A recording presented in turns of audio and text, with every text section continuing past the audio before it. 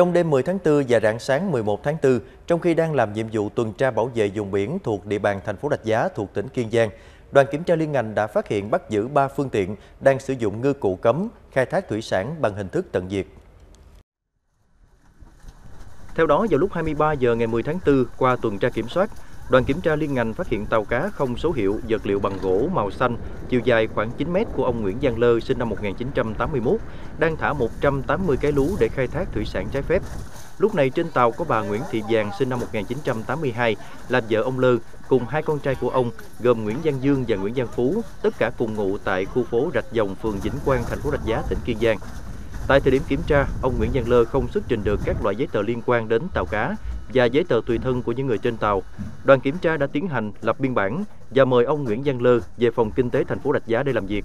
Vào lúc 1 giờ 20 phút ngày 11 tháng 4, đoàn kiểm tra liên ngành phát hiện phương tiện không số do ông Phạm Văn Cương, ngụ tổ 3 khu phố 4, phường Vĩnh Thông, thành phố Rạch Giá làm chủ phương tiện, đang sử dụng lú dây, lú bắt quái để khai thác thủy sản. Ông Cương khai nhận trên phương tiện của ông có 180 cái lú và ông đã thả tất cả lú hiện có xuống biển xung quanh ghe của ông đang neo đậu và đã khai thác thủy sản tại khu vực này 3 ngày nay. Đoàn kiểm tra đã tiến hành lập biên bản và mời ông Phạm Văn Cương về phòng kinh tế thành phố Rạch Giá làm việc.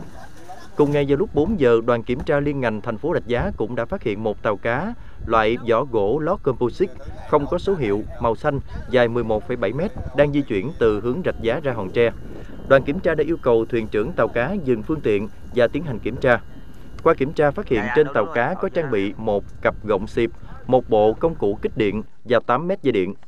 Tại thời điểm kiểm tra, trên tàu không có hải sản, chỉ có 3 thuyền viên do ông Trần Văn Đầy sinh năm 1978 địa chỉ 174 Xuyệt 4 Trần Quý Cáp, khu phố 6, phường An Bình, thành phố Rạch Giá, tỉnh Kiên Giang làm thuyền trưởng.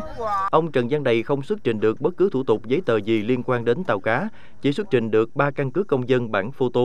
của ba thuyền viên trên tàu. Đoàn kiểm tra đã tiến hành lập biên bản và đưa phương tiện cùng tan vật di lý về phòng kinh tế thành phố Rạch Giá để tiếp tục làm việc. Hiện đoàn kiểm tra liên ngành thành phố Rạch Giá đang hoàn tất hồ sơ, xử lý các chủ phương tiện và các tàu vi phạm theo quy định của pháp luật.